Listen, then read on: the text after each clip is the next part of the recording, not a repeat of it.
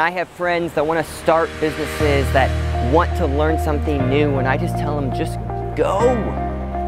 If you wait to be perfect, you will be waiting forever. People out there that are like me, my age, younger, older, what I've learned, have patience.